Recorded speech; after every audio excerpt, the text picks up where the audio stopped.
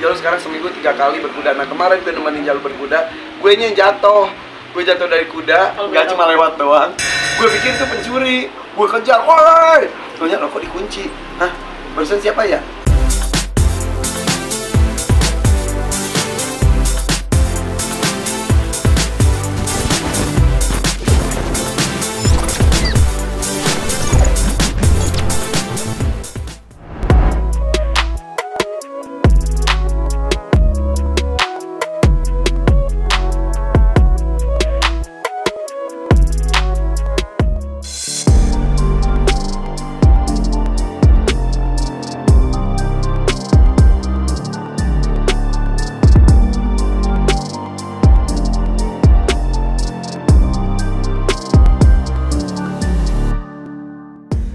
Lagi persiapan buat eh, pelatnas di berkudanya karena tahun depan di 2024 ada PON mudah-mudahan dia bisa menjadi salah satu atlet di salah satu provinsi.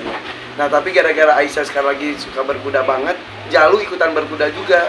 Jalu sekarang seminggu tiga kali berkuda. Nah kemarin gue nemenin Jalu berkuda, gue yang jatuh, gue jatuh dari kuda eh, pas jumping dan diketahui Aisyah mungkin saya ketahui pas gue kirim ke Aisyah kan Syah ayah jatuh ah makanya gitu lah terus istri aku juga aki-aki makanya gak usah sosokan naik kuda tapi nggak apa-apa abis jatuh langsung naik kuda lagi Ah jadi kan bi- bisa dibilang jadi satu keluarga suka berkuda semuanya mungkin Ya. ada penambahan buat beli kuda baru.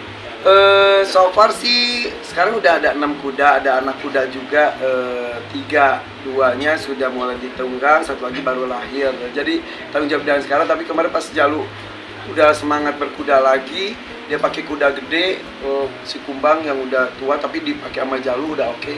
Ya tahu tuh, kalau Jalu serius akan saya berikan lagi. Tapi ya itu kan penuh dan tanggung jawab seperti halnya Aisyah sekarang kan dia pegang dua kuda, dua-duanya harus dinaikin di tiap latihan satu kali latihan itu dua kuda dua-duanya itu capek banget biarin aja Mungkin sedikit eh, terkait penampakan yang ada di rumah A yang terekam di CCTV mungkin seperti apa? udah lama itu udah dua tahun lalu dan itu ya karena di kontenin jadi seru tapi ya intinya sih kita hidup berdampingan dengan makhluk yang tidak terlihat sekalipun jadi dia kita jangan meng- saling mengganggu yang terlihat maupun tidak terlihat gitu kalau kita baik-baik saja mereka juga akan baik-baik saja justru akan efeknya akan baik untuk kita jadi gue tuh ya bukan di rumah gue aja berdampingan dan pohon dan hewan dan makhluk yang tak terlihat juga berdampingannya udah sama-sama gitu. Tapi buat A sendiri pernah melihat secara langsung enggak eh, pernah sih sekali anggota yang lain itu berupa apa? Kalau Gak boleh cuma lewat doang.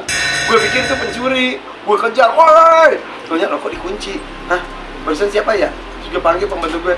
Itu tuh tadi siapa sih yang lewat? Gak tahu pak, nggak ada. Udah, udah, udah, udah. Tapi untuk eh, anak-anak mungkin pernah ada yang? Enggak, eh, santai-santai aja. Sudah terbiasa juga dengan dengan suasana rumah seperti itu dan santai. Jadi karyawan gue juga, Pak tadi mah ada suara mencangkul. Ya udah biarin aja, ya udah biarin aja.